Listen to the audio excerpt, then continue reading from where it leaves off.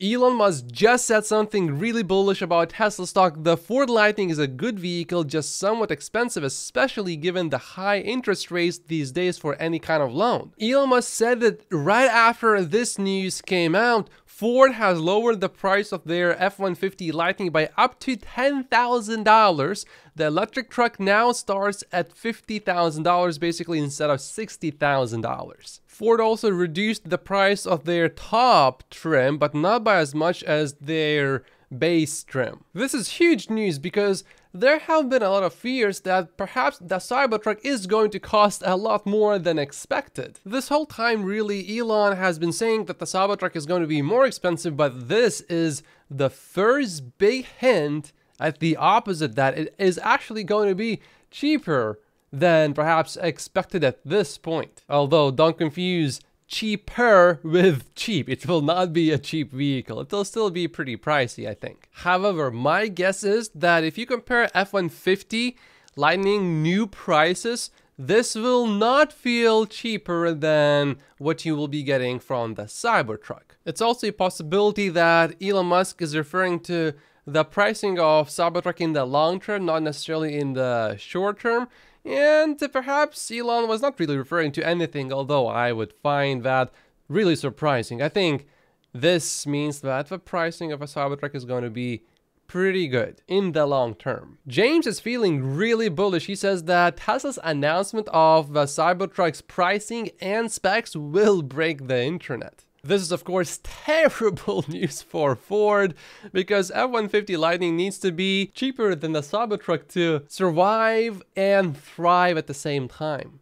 Wall Street Journal is reporting that EV sales grew about 50% in the first half of 2023, but Ford's EV sales only grew 12%? That does not sound good at all. Remember this from July 6, Ford Insider here, dealers are refusing the Mach-E allocation in big numbers. E-Transit is completely dead, and Lightning buyers are not picking up their reservations. And now we are seeing the effects of that much lower prices. 17% lower, in fact, for the base trim. And we also have to remember that Ford is already losing money on the F-150, just now they will be losing a lot more money. And now let's go through the rest of today's Tesla stock news. This is bullish and a bit bearish at the same time, but I would say more bullish at least in the short term than bearish. Tesla's directors agreed to settle a shareholder lawsuit challenging their compensation by returning to the company the value of 3.1 million stock options worth $735 million, according to a Monday filing in a Delaware court. This would be a little bit like doing a buyback of $735 million. Not quite exactly like that, but these shares will never see the market anymore. The reason why I say this is a bit bearish at the same time is because who are these directors and what will that do to their motivation to work hard and focus on Tesla and not think about leaving Tesla and going someplace else? The settlement results a 2020 lawsuit by a retirement fund which holds Tesla stock and challenge stock options that were granted to Tesla directors starting in June 2017. It appears that this has nothing to do with Elon Musk's compensation. Sam from ARK Invest says, I think it's a good sign for demand when a vehicle that's not for sale surpasses search demand for one of the best-selling cars in the world. He's comparing the Model Y search volume in red versus the Cybertruck here in blue. Sam also says Tesla makes one production Cybertruck and Ford cuts prices by $10,000. Sam could also be a comedian if he wanted to switch careers, I think. However, Ford insists that a recent plant upgrade enables them to lower all of these prices. They say that this plant upgrade allows them to now produce an output, an annual output of 150,000 electric pickups beginning this fall, and that also improved battery material costs contribute significantly to the lower prices. What was the initial reaction from Ford investors this morning? Well, it was not positive. Ford was down 4.1%, but maybe after reading what Ford said here and investigating a little bit further, maybe the situation has now changed. And indeed, the situation has changed. Surprisingly, the stock now is down 5.47%. Clearly, investors disagree. The big problem that Ford is facing here is that with every single F-150 Lightning EV sale, which loses a lot of money still, they also lose a sale of a gas-powered F-150, which is still wildly profitable. It's a double whammy that Ford is facing. Tesla released a new video that is wine being poured on a wide seat and you would think there's no way this is just going to come out without leaving permanent stains but look at all this. Do you see any red remaining here? I don't. Although in that video I do see my regret of not getting the white seats. However, white seats do get jean stains, but I don't wear jeans we have fairly good news regarding Tesla's earnings. Uh, everyone is above the street consensus. I'm talking about uh, retail Tesla stock investors. We are still missing Rob and Troy. But this right here is really interesting. Honey Jam is projecting 95 cents in earnings.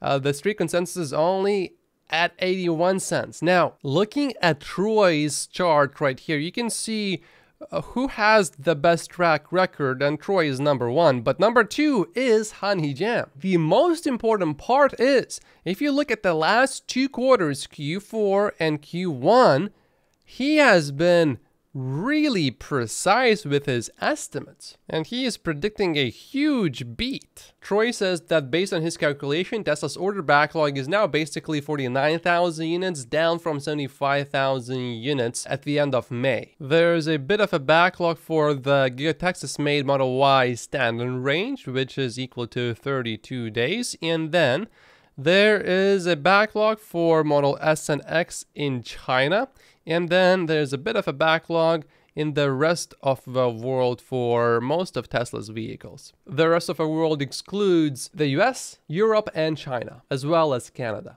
Germany's top union today called for Tesla to improve staffing conditions at its German Gigafactory as it prepares to expand, with the carmaker due to publish its expansion plans for feedback from the community later this week. I don't see anything concerning in that report, although I found something that sounds concerning and actually sounds pretty good to me. Uh, Schulz said that in June alone, around 200 permanent staff had been laid off or signed payout deals in Giga Berlin, and a mid triple digit number of temporary workers had been let go. Sounds really bad, right? Without reducing the site's weekly production goal of 5,000 cars currently. The union is mad at Tesla for being more efficient.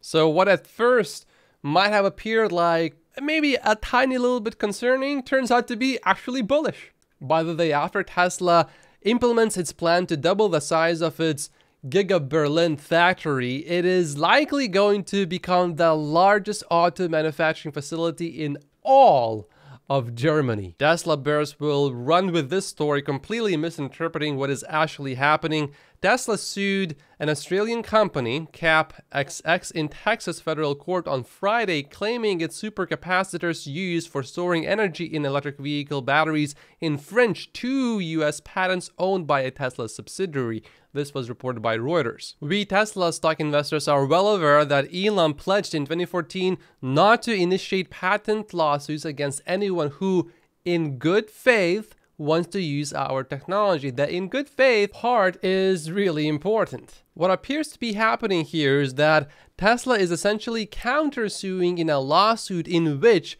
their subsidiary got sued. This is defensive, this is not offensive.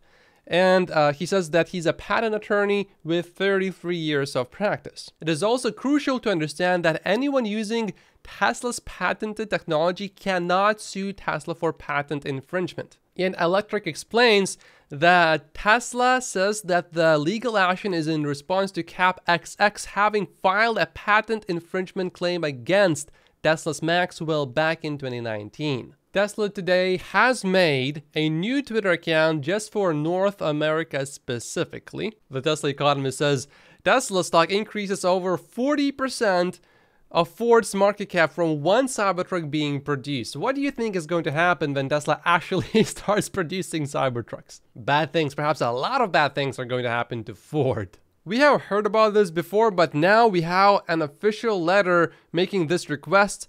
Uh, Senator Warren is requesting the SEC to investigate Elon Musk's Tesla over Twitter ties, alleging misappropriating assets and conflicts of interest. I wonder how many Tesla uh, shares she owns. This is the same senator that said that Elon Musk is a freeloader. Can you believe that? Elon Musk being a freeloader? Elon Musk replied to her by saying, Please don't call the manager on me, Senator Karen. Senator Elizabeth Warren sending a letter to the SEC highlighting the Tesla board's apparent lack of independence from Musk. Let's bring in CNBC.com's Lora Kolodny here to discuss. Lora, how serious are these allegations? This is really serious. Uh, Senator Warren sits on the most powerful committee that oversees the SEC, and you don't usually hear a senator calling out an individual company by name and seeking an investigation by a federal agency.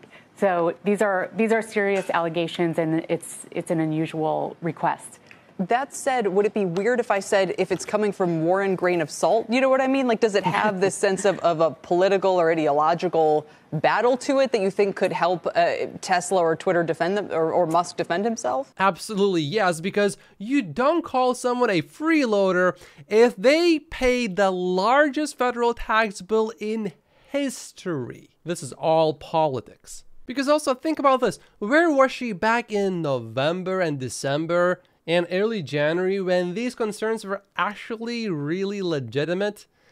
But now, all of a sudden, um, six months later, seven months later, perhaps, after these issues were really surfacing, only now she's supposedly taking action, which is, by the way, seven months closer to the election. It's funny, this, uh, this isn't particularly striking me as political because it's very wonky. It's about the Tesla board of directors and whether they've given shareholders all the information they really need to understand how Tesla lent employees to Twitter, how that all worked out, what kind of costs it may have, you know, incurred to Tesla, and so on and so forth. It's, uh, I, I understand the point, but I don't, I don't know. I don't know if this is just political, although they have taken jabs at each other through the years. As a Tesla stock investor, I welcome collaboration between Elon Musk's companies, including Tesla and Twitter, because think about this. Uh, one of the former executives of Tesla, who is now a GM board member, he said that